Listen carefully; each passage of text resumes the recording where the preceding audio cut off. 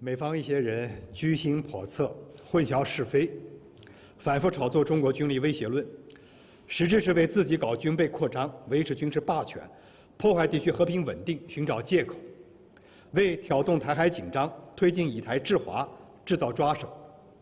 我要指出的是，中国始终奉行防御性国防政策，坚定不移走和平发展道路。中国军力的增长是世界和平力量的增长。有助于维护亚太和世界和平稳定，实现祖国完全统一是全体中华儿女的共同愿望。我们愿意最大诚意、尽最大努力争取和平统一的前景。同时，我们绝不允许任何人、任何势力把台湾从祖国分裂出去。